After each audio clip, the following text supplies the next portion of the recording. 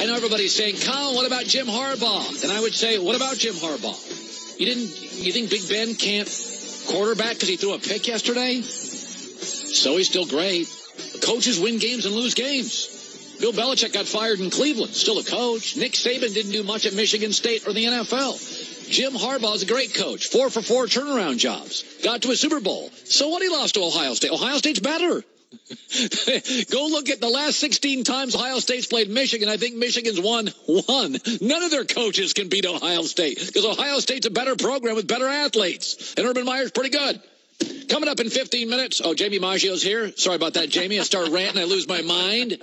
I'm low on blood sugar, blood period, because my nose exploded driving to work yesterday, and I'm a mess. Uh, it's great to have you on a Monday. Thank you. 15 minutes from now, Super Bowl champ and 11-time Pro Bowler Rod Woodson, one of the great all-time players, joins us in studio.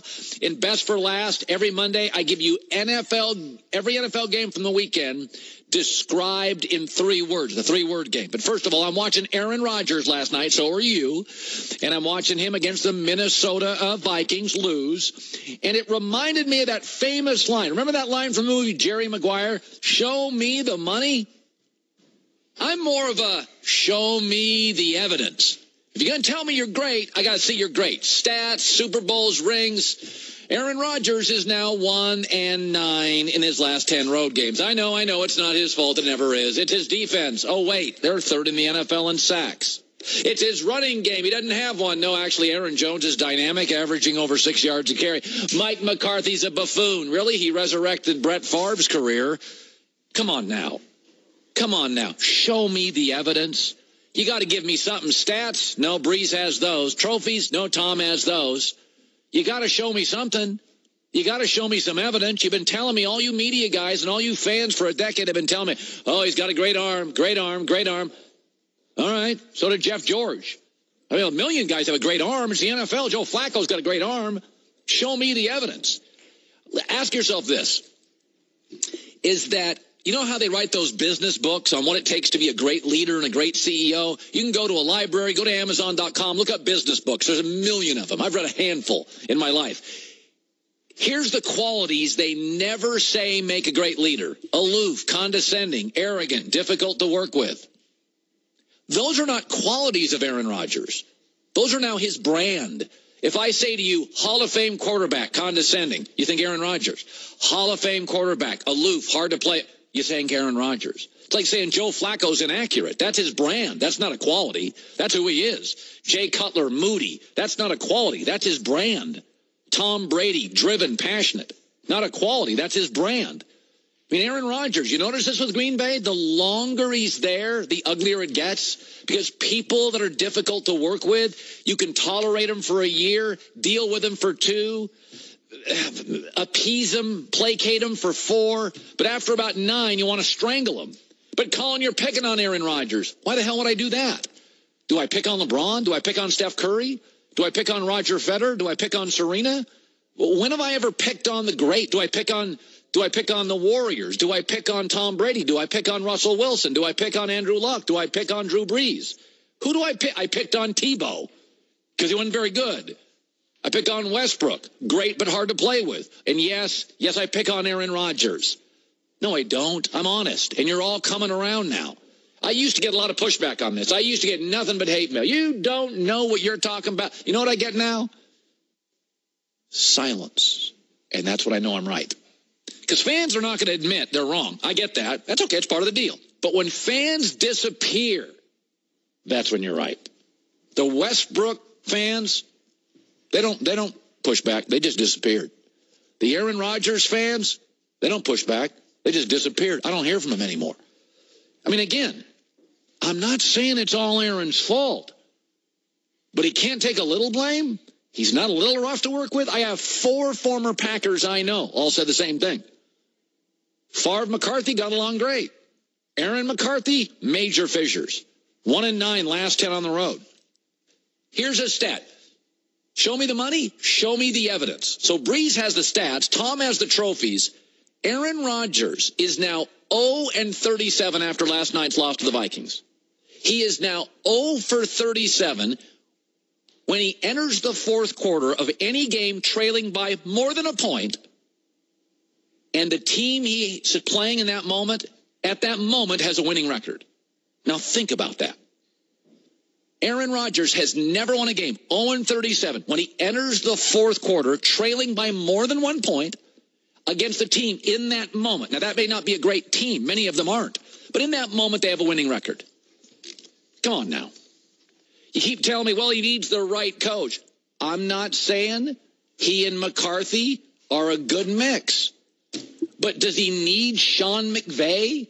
Does he need the perfect running game and the perfect defense and the perfect coach and the perfect schedule? Because the greats don't. Um, let, let me shift gears to the Steelers. So everybody's going to beat up on Big Ben today. I get it. Terrible, terrible interception late. I get it.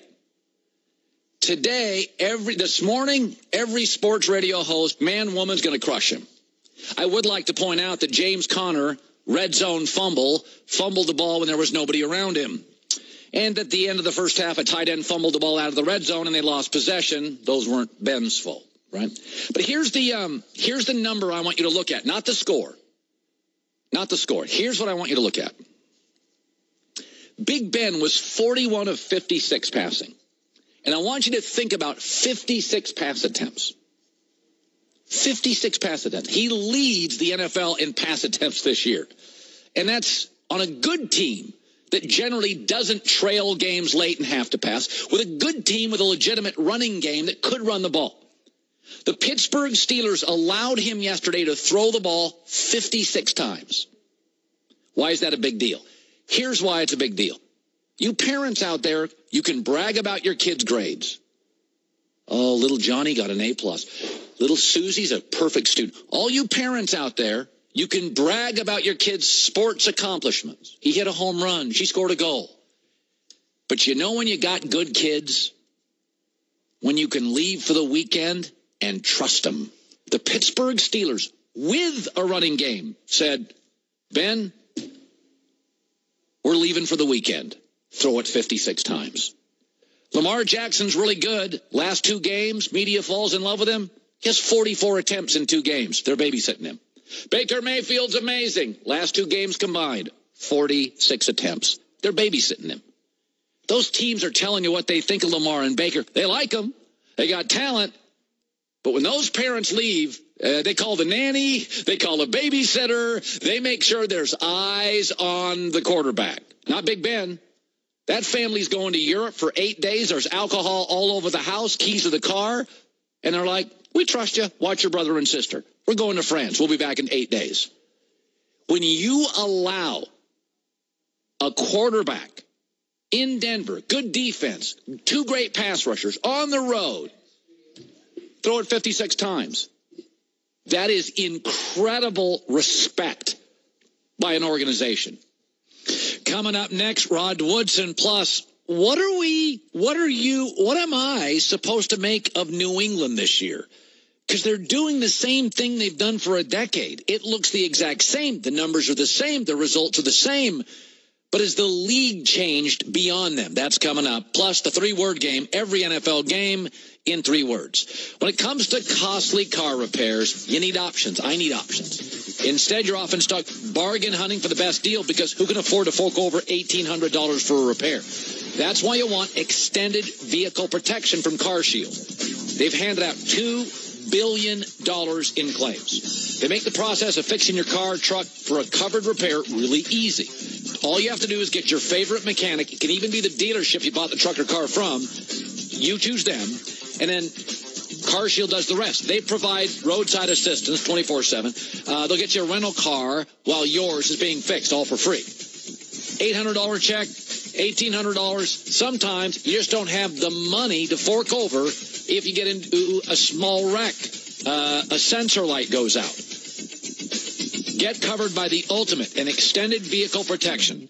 Call 800 car 6100, 800 car 6100, and mention the code HERD. Or